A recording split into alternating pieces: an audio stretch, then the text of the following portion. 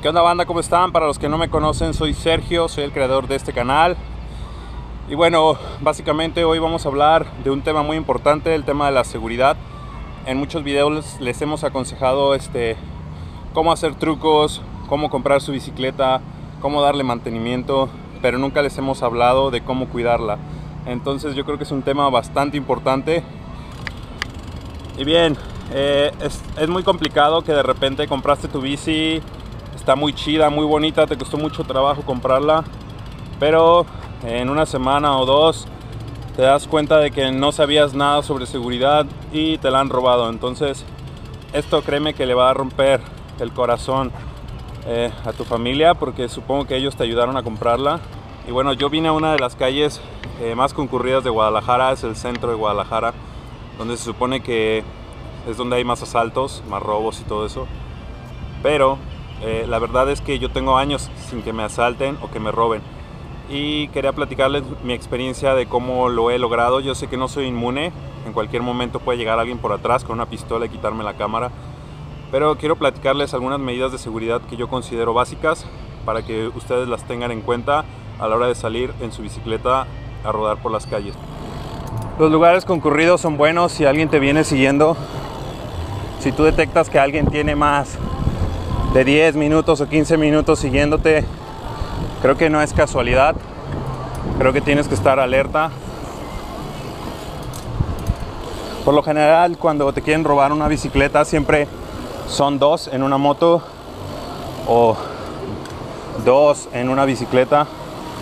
O también a veces puede ser en carro, así que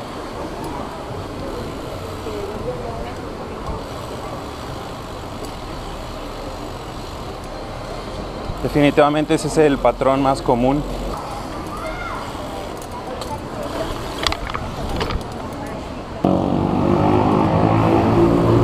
Ir en sentido contrario quizás les parezca un poco tonto a ustedes, pero es una maniobra evasiva bastante buena, sobre todo si te viene siguiendo un carro o una moto. Ir en sentido contrario te va a ayudar a desorientarlos un poco. Y con algo de suerte te van a dejar de seguir.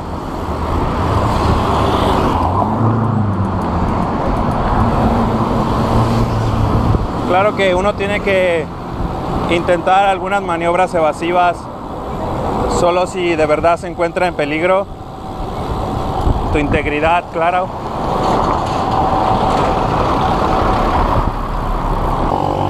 Y bueno, ¿qué hacer cuando llegamos a un cajero? Bueno, el cajero se presta eh, para dos cosas. Una, que la seguridad sea buena por la vigilancia y las cámaras, pero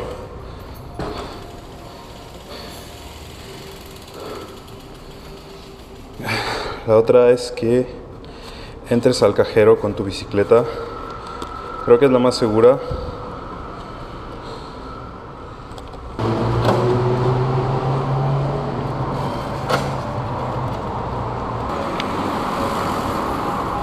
bueno, no porque hayan muchas cámaras en el cajero significa que, que es un lugar seguro.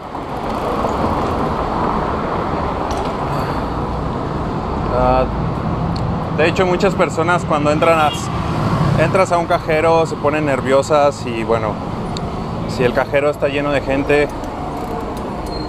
lo mejor es dejar la bici en un lugar visible un lugar donde tú puedas ver tu bicicleta desde adentro del banco. Y bueno, la regla de seguridad básica cuando dejas tu bici en la calle es tener un candado o si no lo tienes, dejarla visible y no estar mucho tiempo dentro del eh, cajero o tienda o oxo o lo que sea. Y bueno, en algunas ciclovías de Guadalajara siempre pasa esto es muy normal tener que subirte a la banqueta o bajarte de la banqueta.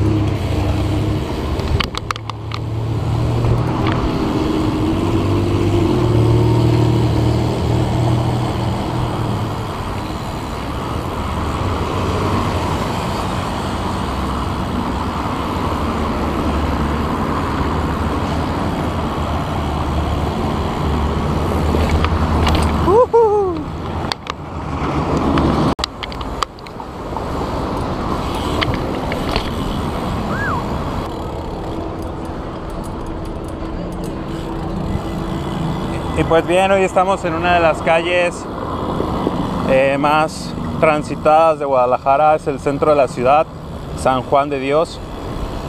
Eh, se puede decir que es uno de los lugares donde más asaltan y roban a la gente, sin exagerar. Es un lugar donde llega mucha gente de otros lugares, de otros estados, de otras ciudades a comprar productos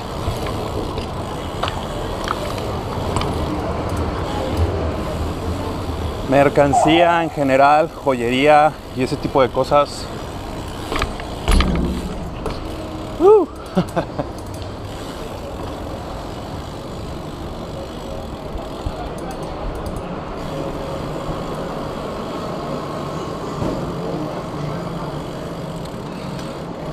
y bueno, por ende se presta para que haya todo tipo de asaltos aquí, ¿no? Ah, mucha gente sabe en esta zona se mueve dinero, hay muchos compradores. Pero sobre todo pero sobre todo muchos turistas eh, muchos turistas que no saben qué onda no saben nada del movimiento aquí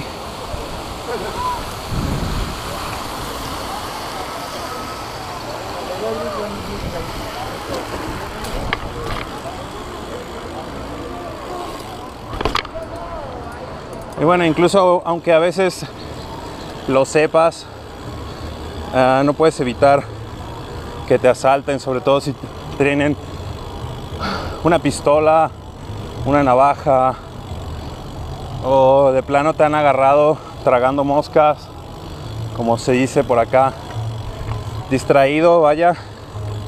Entonces, es uno de los problemas número uno que se enfrenta uno en la ciudad, un poco de distracción y te han asaltado y te robaron todo lo que traías. Entonces en este video les queremos mostrar algunas técnicas para aprender a moverse en la ciudad.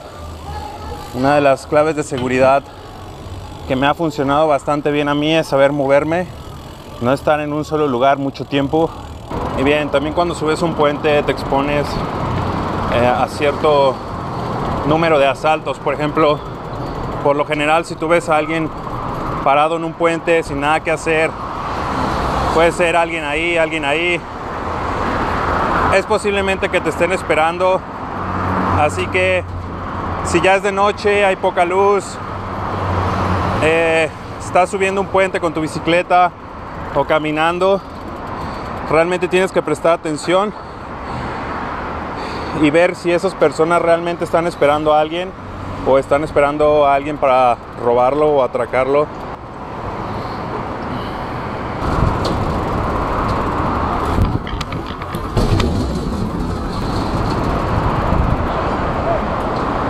Que me aviente. Me aviento si te avientas tú. Arre.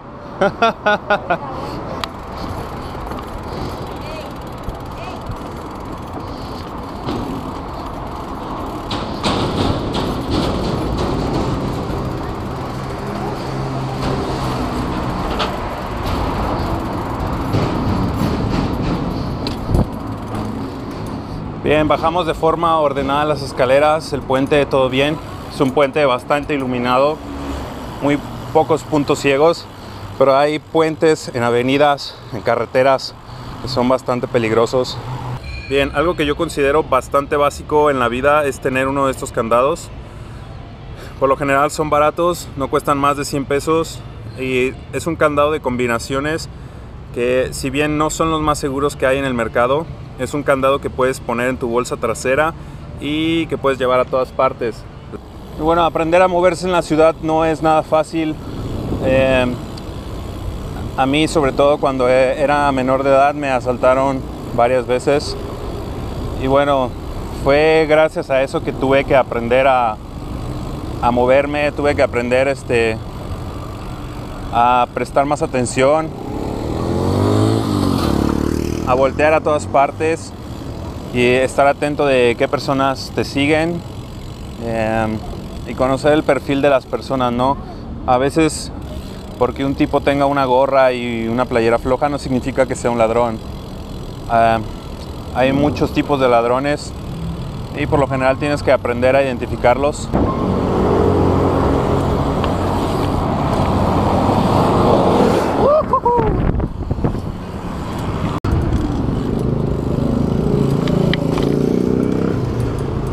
Bien, una de las causas comunes para que te roben tu bicicleta es siempre prestarla. Creo que debes saber a quién prestarla porque no es una bici muy barata. Yo en lo personal nunca la presto o solo la presto a gente de confianza que sabe montar BMX y que sabe cuidarla. Pero de ahí en más, eh, alguien que la use para uso de transporte, ir a la escuela, tomar un tren, etcétera, creo que se expone demasiado a que se la roben. Entonces, tienes que saber a quién prestársela.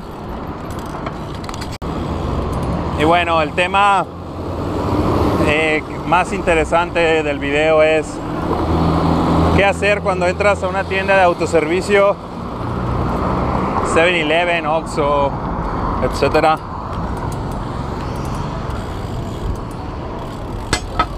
Bueno, yo lo que hago, eh, bueno, este especialmente es un Oxxo que está enfrente de una estación de policía, como pueden ver. Pero lo que hago es checar alrededor, ver si no hay nadie.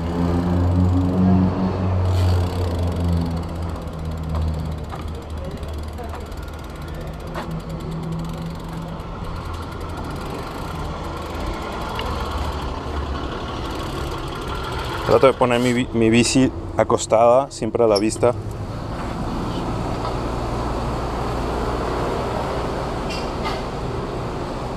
Mm. Y definitivamente trato de no estar mucho tiempo adentro. Más o menos ya tengo pensado qué voy a comprar. Necesito un té frío. Ok.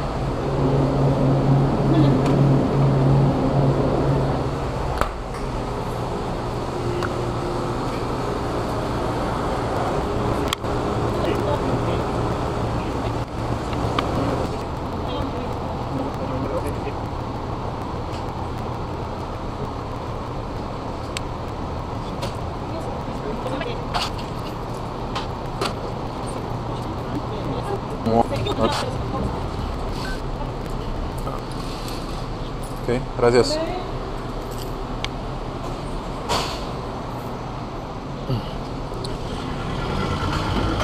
Bueno, me he demorado como 10 minutos adentro. Mi bici sigue aquí afuera.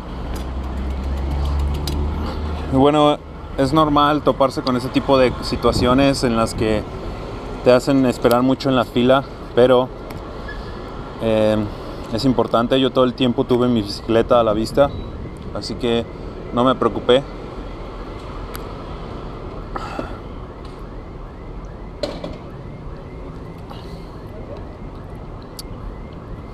Ah, esta mierda no está tan chida, pero bueno.